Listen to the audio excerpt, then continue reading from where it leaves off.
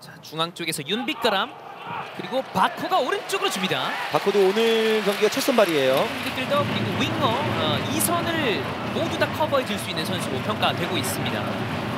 사실 그동안 지금 양한민 선수의 표정이 네. 와 큰일 날 뻔했다라는. 그 본인의 심정을 다 드러내는 표정이 아닌가 싶어요. 어 바코가 잘 빠져나왔는데요. 마지막 패스는 아쉽습니다. 또 포스트를 맞은 게 아니잖아요. 네. 그렇기 때문에 충분히 따라갈 수 있고 포스트 맞기 전에 본인이 잡아낼 수도 있는 상황이었던 것처럼 보이는데 바코 네. 초반에 가벼운 모습을 보여주고 있는 네. 바코고요. 만약에 이골이 안 들어갔잖아요. 예. 그러면 정한민 선수에게 좀 다른 선수들이 원망스러운 그렇죠? 얘기를 역습을 당할 수가 있는 상황에서 볼을 다시 끊어내면서 공격기를 잡은 울산입니다. 자 그리고 바코가 다시 공을 잡고 올라왔습니다. 패스 끝. 자 바코가 왼쪽으로 주고 일단 멈춰놨어요. 바코에게 서울의 수비는 모두 다 자리를 잡고 있습니다. 흘려줬어요. 그리고. 바코의 몇 슛! 역전을 네. 나갑니다. 아, 김민준의 흘려주는 움직임 이후에 바코가 직접 골문을 향한 왼발 슈팅을 날려봤습니다. 자, 홍명보 감독이 박수를 치는 장면이었는데요. 박수를 칠만 했습니다. 예. 태원이 공을 잘 밀어줬어요. 오른발 크로스 바코 가슴 트래핑이 약간 길었는데요. 김인성. 중앙 쪽 바코 윤빛가람. 찬이가 같이 함께 수비를 했고요. 바코 박스 안쪽 진입 바코 오 들어갔어요!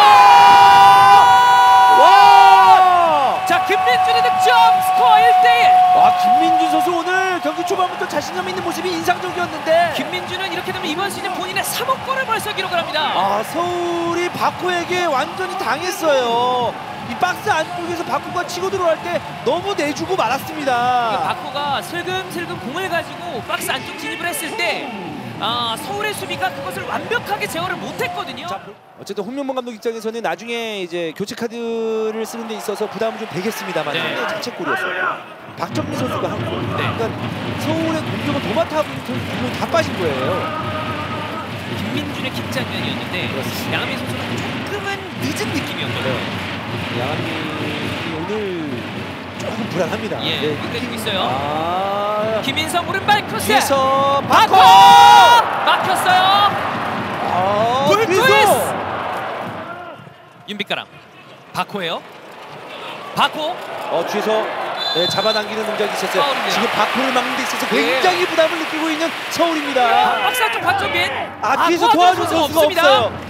아, 도와준 선수가 좀 빠르게 접근했더라면 좋았을 뻔했는데 물론 이제 어, 오늘 공간이 네. 아웃프런트 패스를 했는데 이번에 잘리긴 했습니다. 네, 공격에 가담을 해서 한번 뭔가를 만들어 보려고 했었는데 그래도 양한빈 선수가 이번엔 잘 막아냈고요. 바코 압박을 통해서 공 끌어냈어요. 김태환과 윤빛가람의 2대1 패스 오른쪽 공략 땅볼 크로스 뒤쪽 바코! 막힙니다. 아 울산 공격 잘 만드네요. 그렇습니다. 빠르고 위력적. 어쨌든 그 전에 공간으로 침투해 들어가면서 빠르게 뛰었었는데 그 이후에 날라. 깔아차는 패스 울산의 공격 이어지죠 바커 그리고 왼쪽 김인성 태클로 끊습니다. 바커가 내려와서 그 공을 잡아갑니다.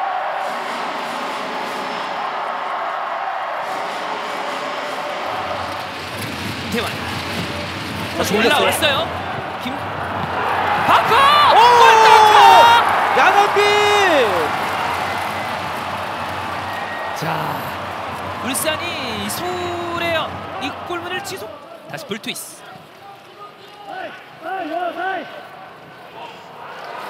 바커 뺏기지 않았어요 오늘 경기에서도 울산은 좀 아쉬운 네, 그런 어떤 그 공격들이 나오고 있고요. 바코 크로스 양한빈이 잡았습니다 이번에 사인을 안 맞았어요 네, 좀 어설픈 자 패스였어요. 울산이 그 공을 그대로 가져옵니다